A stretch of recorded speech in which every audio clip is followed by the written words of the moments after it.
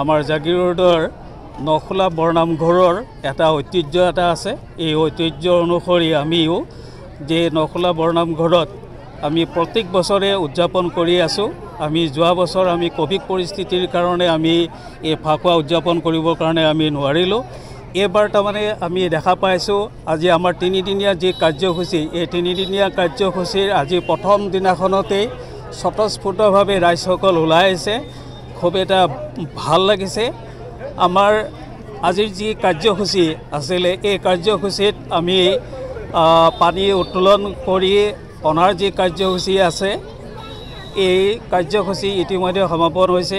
ইয়াৰ পিছতে আমাৰ পৰম্পৰাগত হিচাপে যে পালি অহা যি আমাৰ ব্ৰাহ্মণ পুৰা বুলি নেকি আমি জানিবৰ কাৰণে আমি পাৰিছোঁ সেই ব্ৰাহ্মণ পুৰাৰ পৰ্বৰ অনুসৰি আমাৰ যিটো নেকি আজি ফাকুৱাৰ তিনিদিনীয়া কাৰ্যসূচী এই কাৰ্যসূচী শুভাৰম্ভ হৈছে। আমাৰ নামঘৰত নাম প্ৰসংগ চলি থাকিব আৰু নাম প্ৰসংগৰ লগতে বিভিন্ন ধৰণৰ কিছুমান ধৰ্মীয় ৰীতি নীতিৰ কিছুমান কাৰ্যসূচী আছে।